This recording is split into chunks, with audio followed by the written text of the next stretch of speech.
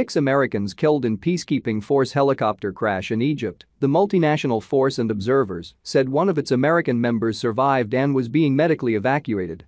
A helicopter belonging to an international peacekeeping force crashed in Egypt's Sinai Peninsula on Thursday, killing at least eight people, including six Americans, the force confirmed.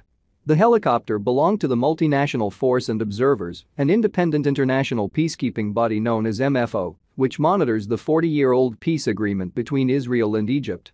During a routine mission in the vicinity of Sharm el-Sheikh, Egypt, nine members of the Multinational Force and Observers MFO, were involved in a helicopter crash, the MFO said in a statement. We are deeply saddened to report that eight uniformed MFO members were killed. Six U.S. citizens, one French, and one Czech.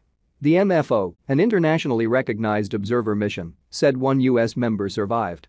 The victims' names are being withheld while their families are informed. The U.S. Department of At this point, there is no information to indicate the crash was anything except an accident. I send my sincere condolences to the families of those killed and wish a speedy recovery to the wounded, Israeli Foreign Minister Gabi Ashkenazi said in a statement posted on Twitter.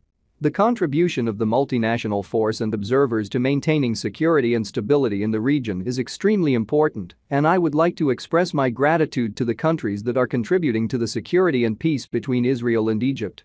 Spokesperson for the Israel Defense Forces told NBC News that Israel had offered to help evacuate the wounded and that specialized medical teams could be mobilized if needed. An injured American was taken by helicopter to an Israeli hospital for medical treatment, they added. According to its website, the MFO has 1,154 military personnel from the US and 12 other countries, covering an area of more than 3,860 square miles in the Sinai. Some 452 of its personnel are American. In recent years, military coordination between Israel and Egypt has tightened to help